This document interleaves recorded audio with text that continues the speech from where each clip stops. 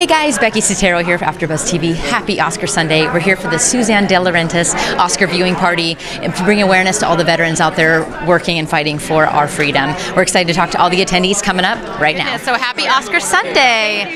What are you excited about for this evening? I'm excited to honor our veterans and show them that we care and love them and appreciate them. And that's first and foremost. And the second is celebrating with other people in the industry and celebrating the magic of film. Sure. Do you have a front runner tonight that you're really excited? I really do. I love Three Billboards. I think it was magic. I think it should get best film. I really hope. I think that film was made to tell stories, and Three Billboards tells the story and it unfolds in such a beautiful way. There's no, there's not one throwaway moment. It's just beautiful. Well, and especially this night, the common theme is that nobody really knows who's going to win because it's pretty even keeled. So Right. that's pretty exciting. So we don't. There's not a blockbuster. You know, we don't know who's going to take it.